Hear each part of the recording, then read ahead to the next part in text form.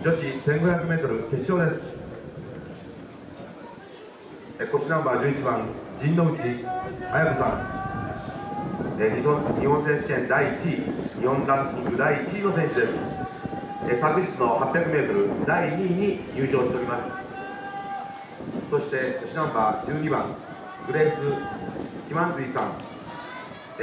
昨日の 5000m 第4位。そして13番須永さん制度え昨日の 800m 第3位。800m そして 5000m の上位入賞者が出場する 1500m 決勝です。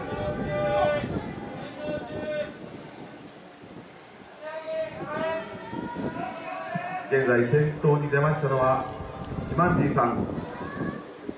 スタートそして続きますのは中尾さん制度さあ順位が入れ替わりました。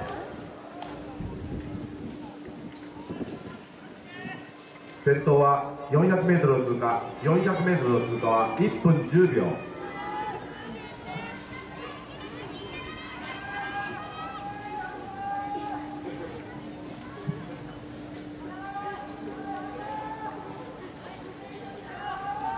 さあ先頭内側東東の上田さんレースを引っ張っております。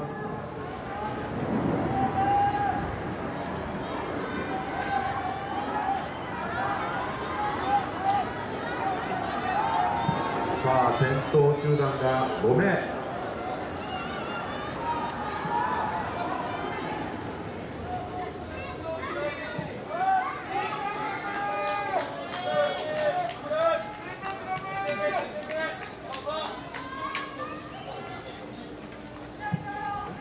さあ先頭争い5名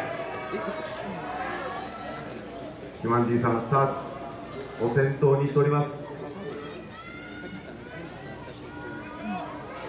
さあ先頭集団5名途中 800m を通過します。800m の通過は2分20秒。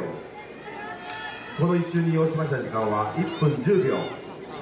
同じペースで進んでおります。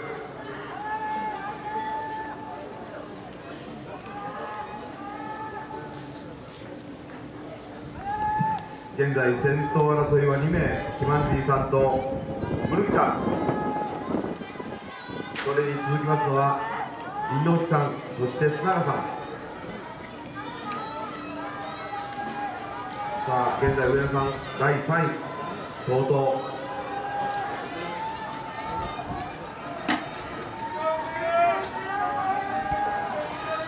先頭の島口さんそして麦さん3番手に林之さん。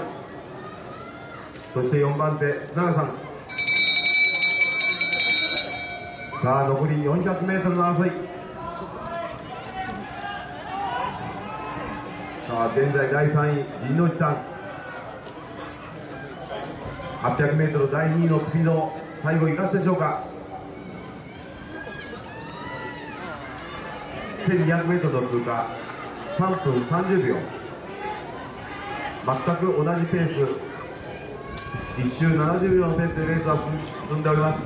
さあここからスピードが上がります。さあ先頭争いに出てきたのは陣内さん。さあ先頭出てきました。九電工の陣内さん。はいそして森口さん。追い上げるか。